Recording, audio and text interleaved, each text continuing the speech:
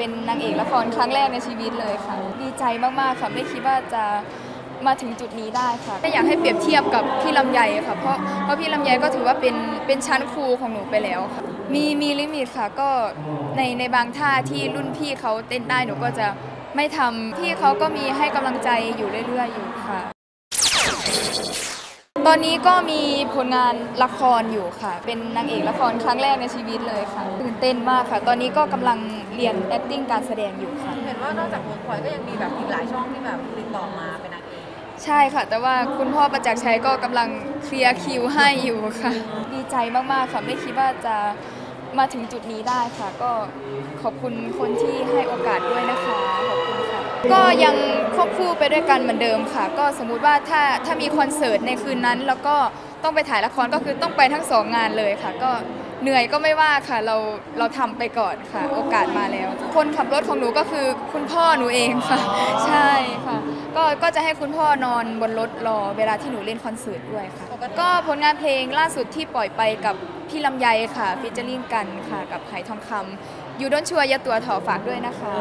ก็กระแสดีเลยค่ะใน TikTok ก็มีคนเอาไปเต้น cover บ้างอะไรอย่างเงี้ยค่ะดีใจค่ะดีใจ เห็นบ่อยเหมือนกันนะคะคอมเมนต์แบบนี้ก็ไม่อยากให้ไม่อยากให้เปรียบเทียบกับพี่ลำไยค่ะเพราะเพราะพี่ลำไยก็ถือว่าเป็นเป็นชั้นครูของหนูไปแล้วค่ะ ถือว่าเป็นรุ่นพี่ในวงการ แล้วก็เป็นคุณครูเป็นอาจารย์ด้วยค่ะหนูก็ก็ดูพี่เขาเป็นตัวอย่างด้วย รู้สึกตัวไหมว่าแบบว่าเราเปลี่ยนลุคขึ้นไปแบบเป็นเออเปลี่ยนไปแซ่บขึ้นอะไรอย่างเงี้ย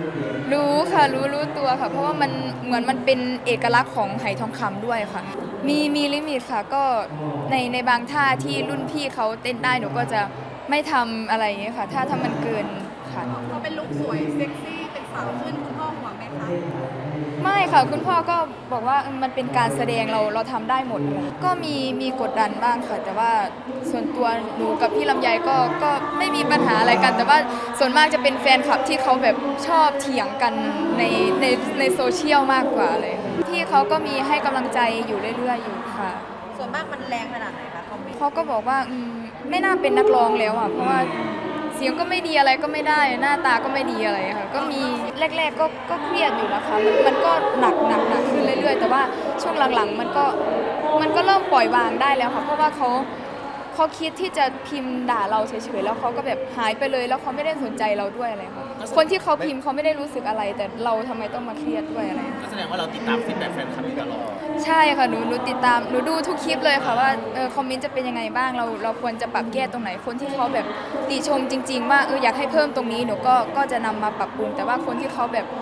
อาจจะมีอคติส่วนตัวหนูก็จะไม่เออหนูก็จะปล่อยผ่านไปค่ะ เคยเคยคิดค่ะ ก็พอมองเห็น พ่อกับแม่มันก็อืมมันจะเลิกได้ยังไงในเมื่อเรามาถึงจุดนี้แล้วเราก็ต้องไปต่อค่ะมันมันจะมีเอ่อมีช่อง TikTok เขาทำมาปลอมแล้วเขาก็แบบเอามาตีข่าวว่าเราแบบเคยเสียตัวแล้วกับคนนั้นคนนี้อะไรอย่างเงี้ยค่ะหนูก็เลย cap แล้วก็ส่งให้ทนายดูค่ะเขาก็บอกว่าสามารถฟ้องได้อะไรอย่างเงี้ย มันเป็นช่อง anti ของเราอีกใช่ค่ะ ก็คิดคิดไว้อยู่ค่ะ แต่ว่าก็ยังยังไม่ทำอะไร ตอนนี้ cap ไว้เยอะยังคะ เยอะอยู่ค่ะ มันมีมาเรื่อยๆค่ะ เขาน่าจะปิดไปแล้วแล้วเขาก็สร้างใหม่ขึ้นมาเรื่อยๆค่ะ ทีแรกคุณพ่อไม่รู้เรื่องนี้ด้วยค่ะ เพราะว่าหนูกับครอบครัวเป็นคนเห็นคลิปนั้น แล้วก็พอคุณพ่อเห็นคุณพ่อก็แบบ เฮ้ย มาทำงี้กับลูกสาวได้ไงอะไรอย่างนี้ต้องจัดการเลยนะอะไรอย่างนี้ค่ะ